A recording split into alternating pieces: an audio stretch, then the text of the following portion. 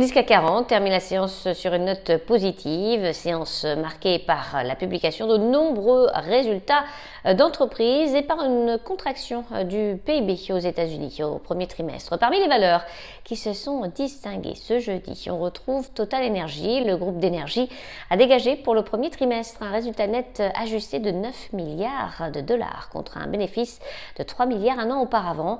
Profitant de l'augmentation des prix de l'énergie, le groupe a enregistré dans ses comptes une provision de 4,1 milliards de dollars en raison du projet Arctic LNG 2 en Russie. La société va racheter jusqu'à 3 milliards de dollars de ses propres actions au premier semestre.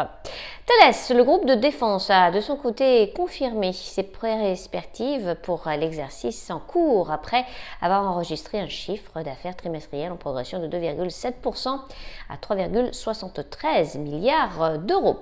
Sanofi, le groupe pharmaceutique, a publié pour le premier trimestre un bénéfice net par action, progression de 20,5% données publiées et de 16,1% à taux de change constant, notamment grâce à un bon des ventes pour son médicament, le Dupixent.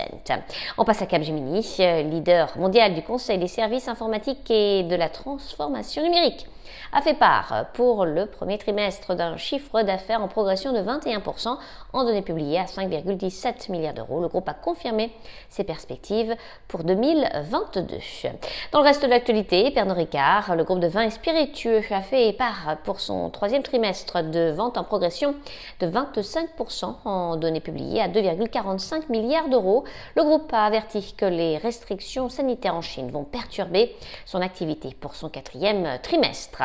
Albioma, un spécialiste des énergies renouvelables, s'est envolé après avoir euh, conclu un accord avec euh, le groupe de capital investissement KKR en vue de son rachat. KKR va proposer 50 euros par action ainsi qu'un dividende de 84 centimes par action représentant une prime de 51,6% par rapport au cours de clôture du 7 mars dernier.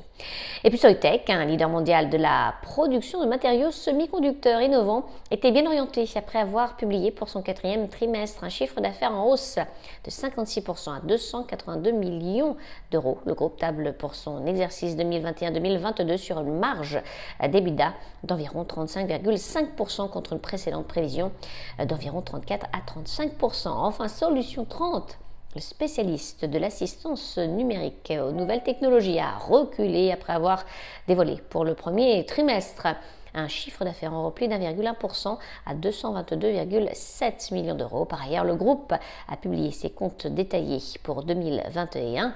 Ceux-ci font ressortir un repli de l'EBITDA ajusté de 23% à 422,4 millions d'euros. À New York, Sabrina Cagliosi pour Trading Central. Je vous souhaite une très belle fin de journée à tous. À demain.